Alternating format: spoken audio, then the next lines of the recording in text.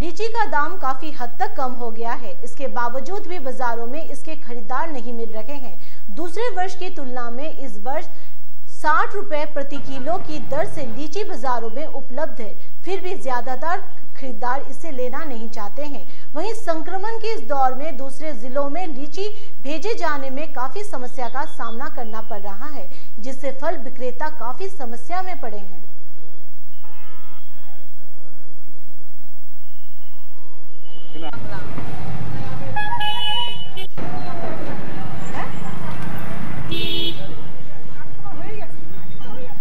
एक बार फिर बता दें कि लीची का दाम काफ़ी हद तक कम हो गया है। इसके बावजूद भी बाजारों में इसके खरीदार नहीं मिल रहे हैं। दूसरे वर्षों की तुलना में इस वर्ष लीची साठ रुपए प्रति किलो की दर से लीची बाजारों में उपलब्ध है। फिर भी ज़्यादातर खरीदार इसे लेना नहीं चाहते।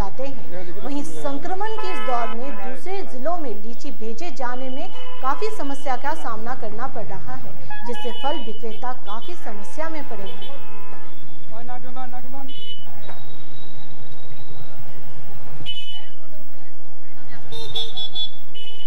इस पूरे विषय में फल विक्रेता क्या कह रहे हैं आइए सुनते हैं সব জায়গায় খারাপ হবে লিচুর বিষয়ে কি বলবেন লিচু লিচু এবার তো মোটামুটি ফলনটা ভালোই হয়েছে লিচু তো সেই হিসাবে তো বাজারে ভালোই আসছে লিচুটা এর আগেবার যে- তার আগেবার যে লিচুর যে অসুবিধা ছিল এটা সেবারে এবার হচ্ছে না সেই জিনিসটা। যার জন্যই এবার লিচুটা বিক্রি হচ্ছে। বিক্রি কি হচ্ছে? লিচু বিক্রি হচ্ছে। বাইরে কি যেতে বাইরে কি আগে যেত? লিচু বাইরে যেত। এবার তো ওই লকডাউনের জন্য বাইরে যেতে পারতেছে না।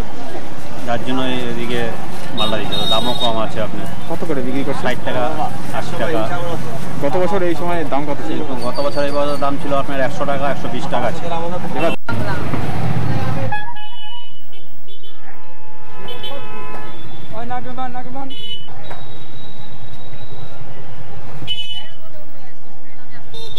वहीं उस पूरे विषय में लीची के दाम को लेकर खरीदार क्या कह रहे हैं सुन लेते हैं দাম কেমন দেখছেন? এবার লিচু বাইরে যেতে পারছে না তো আমরা ষাট টাকা সত্তর টাকা করে লিচু পাচ্ছি। খেতে কেমন? হ্যাঁ ভালো। খুবই ভালো লিচু। গত বছর এই সময় কত দামে কিনতেন একশো টাকা। কতটা খুশি আপনারা তাহলে? হ্যাঁ আমরা খুশি। আপনার নাম?